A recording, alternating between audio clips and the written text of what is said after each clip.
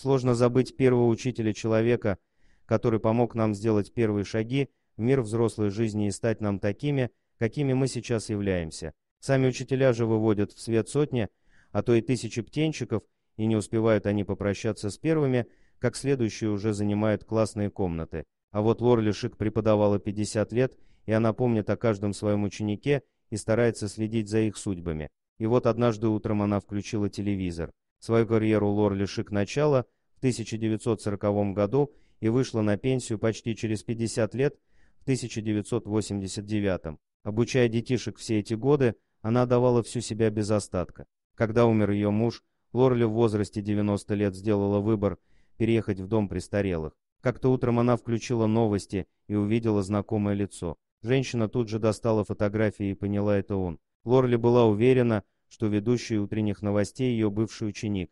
Прошло 30 лет с того момента, как она выпустила его, но она все еще помнила того маленького мальчика.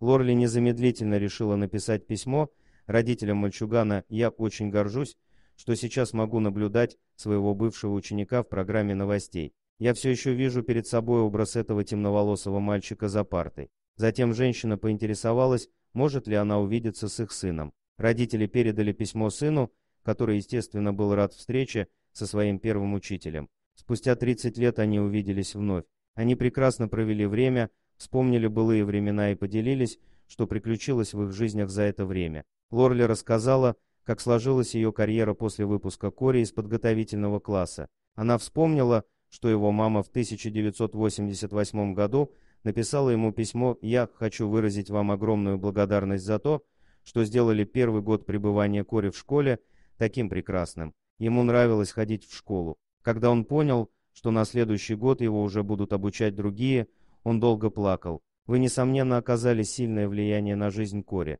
Вы прекрасный педагог. Дорогие друзья, если вам понравился ролик, не забудьте поставить лайк, а также подписаться на наш канал, где найдете еще много интересного, и не забудьте нажать на колокольчик и оставить комментарий.